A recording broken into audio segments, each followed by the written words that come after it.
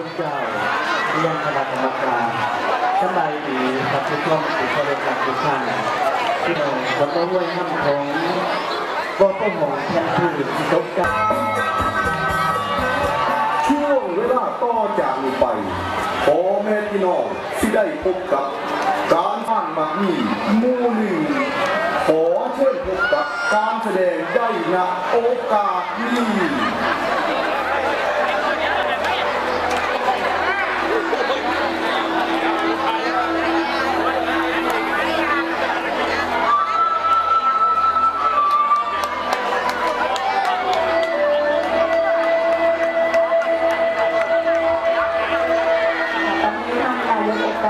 ค์การบริหารส่วนตำบลกระโสมนะครับทุกคนค่ะก็ได้เดินทางมาจากจุดที่หนึ่งนะคะมาจุดที่สองเพื่อเป็นกำลัง